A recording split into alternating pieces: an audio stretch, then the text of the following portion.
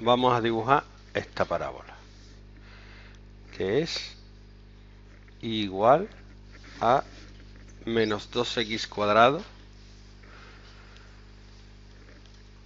menos 4x más 3 bueno primero hay que sacar la x del vértice que es el punto donde la parábola tiene un máximo o un mínimo ¿vale? la x del vértice era menos b partido 2a hay que identificar qué es a, qué es b y qué es c igual a x cuadrado más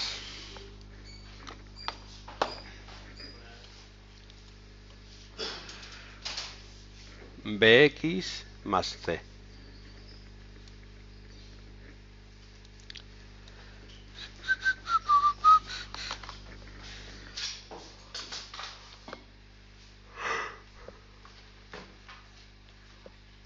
Tonto, A sería menos 2, que es el número que delante de x cuadrado, B sería menos 4 y C sería 3. Entonces la x del vértice es menos B, 4 partido 2 por A. 2 por menos 2, menos 4. 4 partido menos 4 es menos 1. ¿Vale?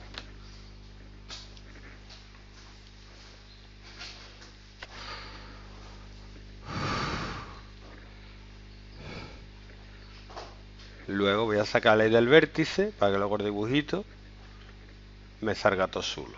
Sustituyo menos 1, me queda menos 2 por menos 1 al cuadrado. Menos 4 por menos 1 más 3. Menos 2 más 4 más 3. O sea que la i del vértice es 5. Luego hay que sacar los puntos de corte que es donde la parábola, por ejemplo, esta corta lo es. Esta, por ejemplo, corta aquí y aquí.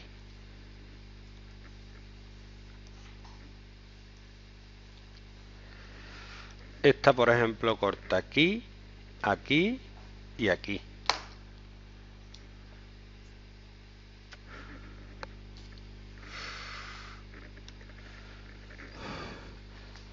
Entonces los puntos de corte son con el eje Y es más fácil porque la X vale 0. Cuando X vale 0 es aquí, es el punto con el eje, punto de corte con el eje Y. Entonces cuando X vale 0 me queda menos 2 por 0 al cuadrado 0, menos 4 por 0, 0, me queda 3. Entonces 0, 3 es un punto de corte.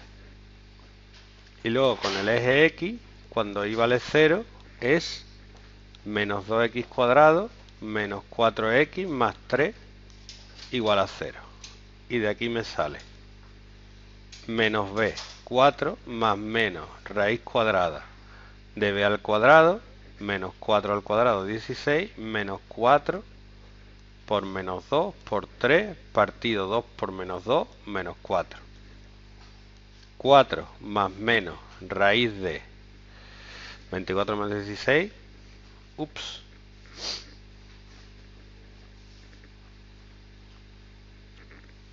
Cuarenta. Uh, me sale el número feísimo. Feísimo, feísimo. Pero ¿qué le vamos a hacer? 4 más raíz de 40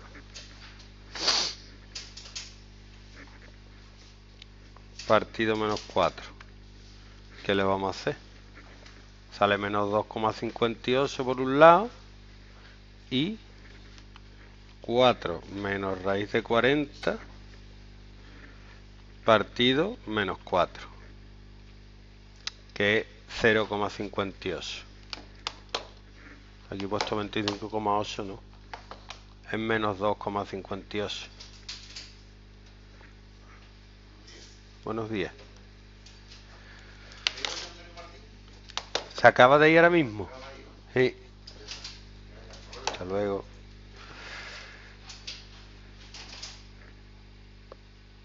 Y luego para dibujarla bien, bien, bien.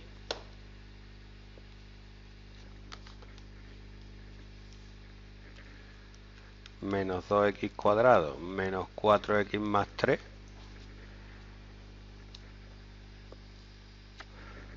hay que dibujar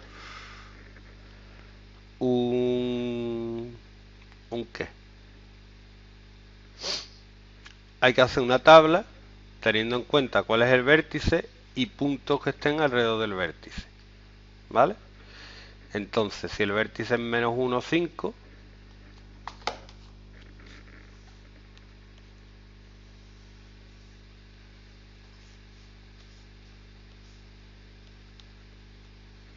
cojo el menos 2 que está alrededor, el 0, el menos 3, el 1 y con esos puntos me va a salir una recta preciosa.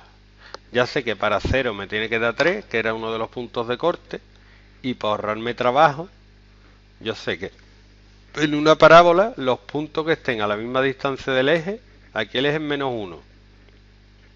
Pues en 0 que vale 3, me tiene que dar lo mismo que en menos 2, que está a la misma distancia del menos 1. Me tiene que dar 3 también, entonces me ahorro de escribir.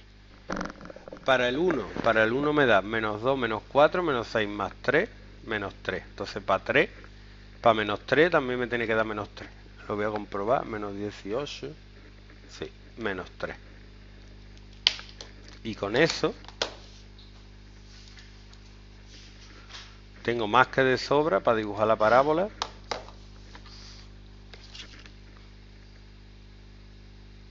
Bien.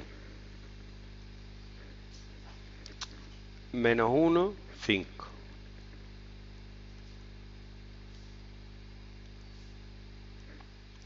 Es este punto. Menos 2, 3. Es este punto. No, estoy haciendo al revés. Menos 1, 5 aquí. Menos 1, 5 aquí, más o menos. Menos 2, 3. Menos 3, menos 3. 0, 3, que es aquí. Y 1 menos 3, que es aquí. Y ya tengo este pedazo de parábola ahí tengo un máximo y luego por aquí. Efectivamente cortan los puntos que he previsto. Había calculado que cortaba que cortaba en 0,58 que es este y menos 2,58 que es este. Pero para dibujarla esos puntos tampoco me son muy útiles porque tienen un montón de decimales.